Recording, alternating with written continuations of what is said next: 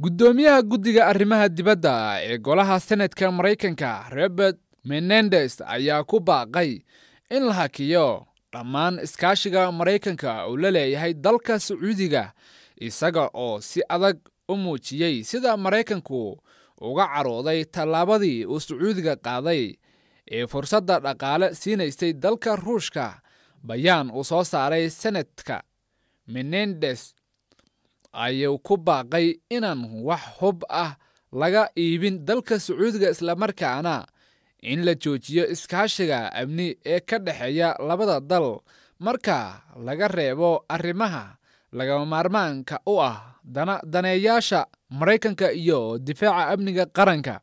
Maraykanka iyo sacuudiga ayaa in ka badan toddobaatan sannadood waxaa ka dhexeeya iskaashi dhinaca amniga ah iyo weliba heshiis dhinaca ganacsiga hubka ah. Guddoomiyaha guddiga arrimaha dibadda ee golaha senatka menendes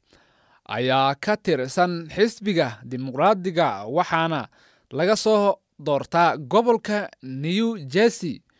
Wuxuu wacad ku maray inaanu taageeri doonin nooc kasta oo iskaashi lala yeesho riyaad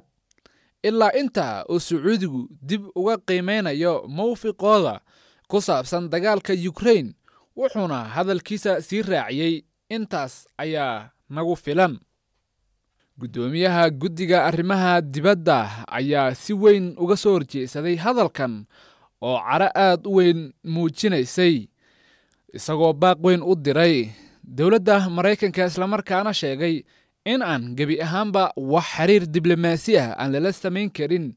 ama aynan habboonayn waqti xaadirkan in lala sameeyo sacuudi carabiya